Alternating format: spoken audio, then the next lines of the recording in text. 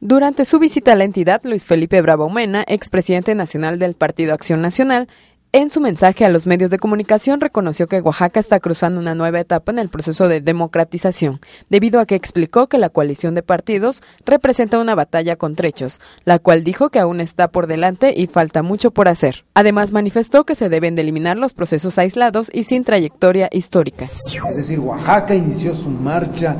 por su democratización hace algunos eh, lustros, no ha cejado, ha logrado victorias, ha avanzado.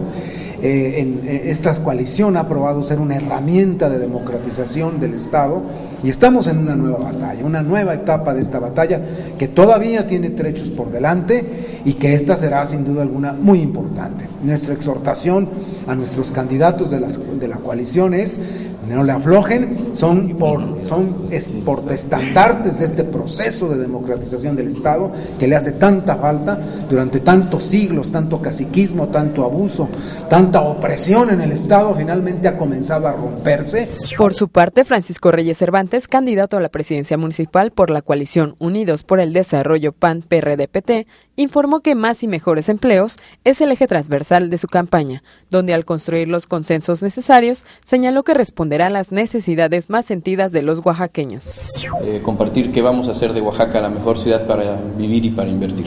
Nosotros nos hemos decidido ah, desde el arranque de esta campaña por tener una causa, un propósito, una misión, en hacer de la propuesta y de los proyectos de esta campaña, que en esta campaña hemos venido manejando, la mejor ciudad para vivir y para invertir a través de las nuevas empresas, de nuevas inversiones, de más y mejores empleos, que es el eje transversal, pues, de, de, nuestra propuesta de campaña. Con imágenes de Alberto Aquino para MBM Televisión, Metzli Beltrán.